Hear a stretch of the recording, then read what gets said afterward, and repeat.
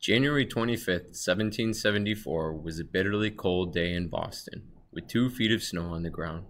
John Malcolm, a 51 year old minor customs official, was on his way home from his office near the Boston harbor when passers by observed him suddenly cursing and physically threatening a small boy on a sled who had apparently rammed him. George R. T. Hewes, a poor shoemaker who had carried one of the Boston massacre's mortally wounded victims to a doctor four years earlier, intervened to protect the child.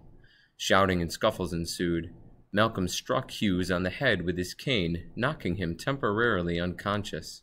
Bystanders then broke up the fight, and Malcolm returned home. But the crowd would not let Malcolm off lightly, and even though the scene had appeared to be a private squabble, that night Bostonians made sure that their response bore the hallmarks of revolutionary justice. Before taking on his current post, Malcolm had worked for the British Empire as a sea captain and army officer, fighting throughout the North American theater of the Seven Years' War. He had become notorious across the colonies after being arrested for debt and counterfeiting in 1763. A decade later, while working as a comptroller, he was suspended for malpractice and extortion. Many Bostonians knew of his checkered past and would likely remember that in 1771, Malcolm had helped Governor Sir William Tryon of North Carolina murderously suppress the Regulator Uprising, a revolt of backcountry farmers against colonial taxes and tax officials. At dusk, a sizable crowd gathered outside Malcolm's home at the end of Cross Street.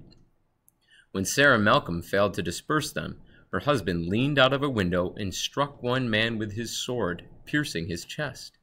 Malcolm then brandished loaded pistols, boasting that he would kill numerous opponents for the governor's bounty. As men started to bring ladders to take the house, the Malcolms barricaded themselves in a second floor room, but the assailants soon breached a window. The irate intruders seized Malcolm, and as he later declared, by violence forced him out of the house and beating him with sticks, then placed him on a sled they had prepared. Some gentlemen now became concerned that matters might get out of hand. They urged restraint and appealed to official justice. But there was no stopping the frenzied crowd. Twelve hundred people, according to the diary of a local merchant, a likely exaggeration, in whose eyes Malcolm had behaved in the most capricious, insulting, and daringly abusive manner. Anne Hulton, a recent arrival from England, whose brother was a commissioner of customs in Boston, was nauseated to see Malcolm undergo cruel torture, first being stripped stark naked one of the severest cold nights this winter, his arm dislocated and tearing off his clothes. Most contemporaries would have been familiar with the procedure that Malcolm was about to endure. Those who needed reminding might consult the recipe recounted by another Massachusetts loyalist. First, Strip a person naked, then heat the tar until it is thin and pour it upon the naked flesh, or rub it over with a tar brush, quantum sufficit. That night, the crowd picked up a barrel of tar at a conveniently located wharf. After which, sprinkle decently upon the tar whilst it is yet warm as many feathers as will stick to it. Malcolm's tormentors may have well taken pillows from his own home as he began their night's work. Then hold a lighted candle to the feathers and try to set it all on fire. If it will burn, so much the better.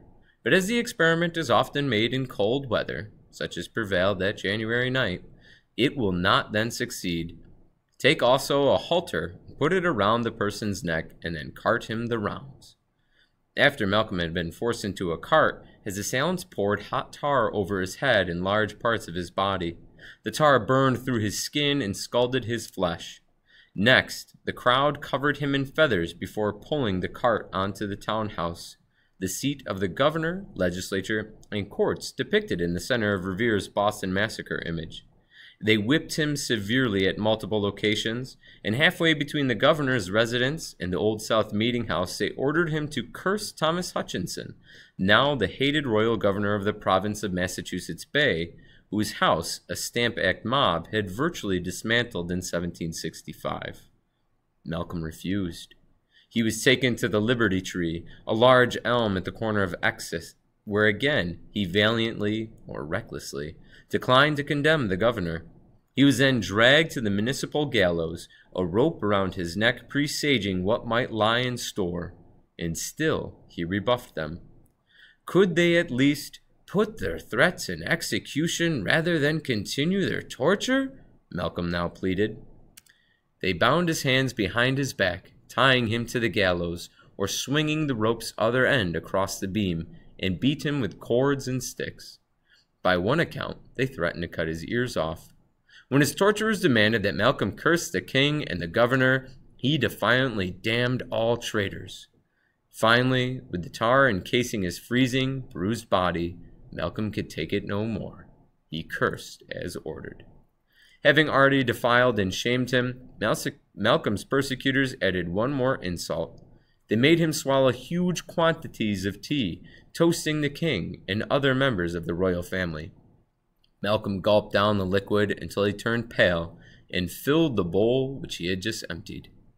They beat him back to the custom house and all the way up to Copp's Hill, including a spectacle of horror and sportive cruelty, as Anne Hulton described it, that has taken as many as five hours.